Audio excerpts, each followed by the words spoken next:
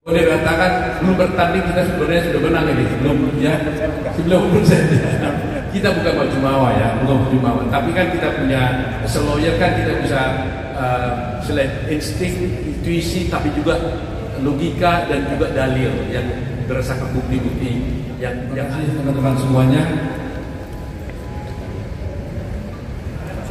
Perjalanan persidangan kita sudah berjalan lebih daripada separuh jalan. Walaupun harinya masih belum separuh. Tetapi saya tidak menyangka baru separuh jalan saja sudah hampir bisa kita simpulkan akhir daripada perkara ini. Dari awal saya memang melihat bahwa begitu banyaknya kelemahan-kelemahan daripada permohonan yang diduga mereka dari dalil yang mereka ajukan.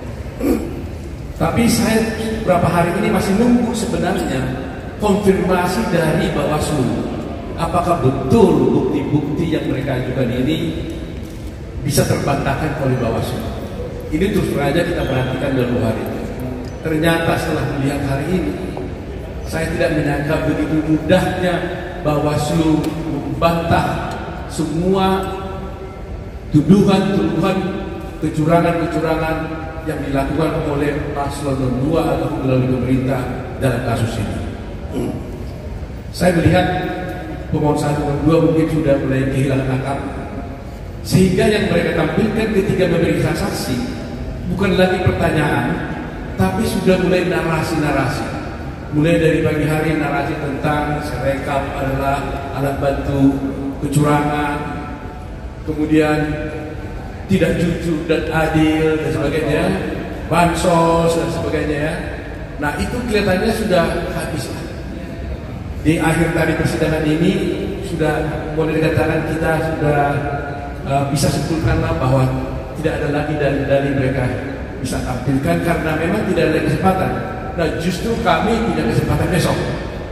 Seperti Pak Yusri bilang, kita punya delapan saksi, ada enam, enam ahli yang delapan ahli enam saksi, ya delapan ahli enam saksi, dan itu akan kita tampilkan ahli-ahli ini untuk bisa memberikan dukungan dari setiap dalil yang kami ajukan di dalam permohonan kami.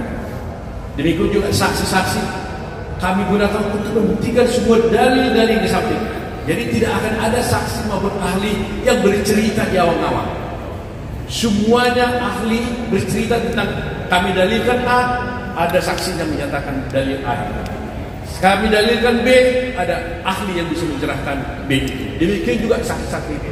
Jadi anda nanti besok itu kalau diikutinya akan terlihat nih mulai dari kompetensi absolut sampai kemudian relatif sampai kemudian pokok perkara itu akan terlihat dari urutan-urutan ahli dan saksi-saksi yang kami ajukan. Jadi saya yakin dan percaya bahwa sudah setengah jalan ini kami yakini sudah boleh katakan belum bertanding kita sebenarnya sudah menang ini. Belum ya. Sebelum persen kita bukan baju mawa ya. Bukan baju mawa tapi kan kita punya seloyer kan kita bisa uh, selain insting intuisi tapi juga logika dan juga dalil yang berdasarkan bukti-bukti yang yang ada. Jadi uh, mudah-mudahan nantinya pemilu ini akan berakhir dengan cepat apa akan bisa diakhiri pemilu terpilihannya Pak Prabowo ini bisa kalau sekarang kan boleh ada yang bilang dia masih presiden elect dan ada yang mengatakan dia presiden elect dalam sengketa.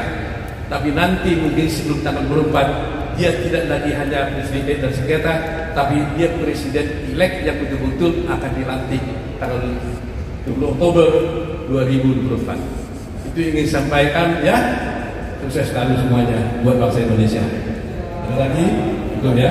Izin Prof, izin satu pertanyaan Pak. Uh, artinya dengan optimisme kemenangan yang tadi sudah disampaikan dengan adanya besok pemanggilan empat menteri hari Jumat, ini optimisme soal kemenangan di sidang ini akan tetap terjaga. Tidak ada mungkin keterangan-keterangan dari menteri yang akan mengubah jalannya persidangan. Justru mau Ini justru blessing in disguise. Blessing in disguise. Kemarin itu kan kita bercerita bukan keberatan loh. Ketika mereka mengajukan menteri, ada empat menteri, kita tidak keberatan. Cuma kita katakan ada aturan lainnya yang boleh mengajukan itu bukan anda kan gitu. Jadi sebab konsekuensi hukumnya kan beda. Kalau mereka yang mengajukan uh, pihak-pihak ketiga tersebut, maka berarti kan pengadilan yang disuruh membuktikan dalil dia dan akibat hukumnya, maka para pihak bisa menanyai saksi-saksi tersebut.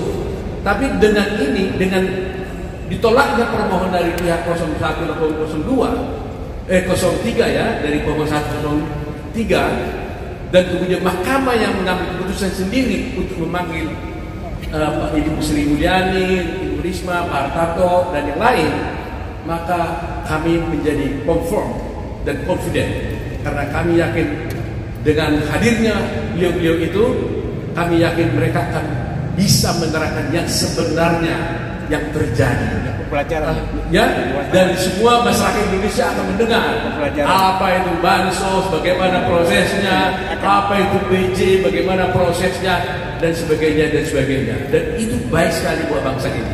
Sehingga keterpilihan Pak Prabowo nanti dan kemenangannya akan menjadi pure pure kemenangan yang murni jujur dan adil di Republik ini ya cukup ya? Oke terima kasih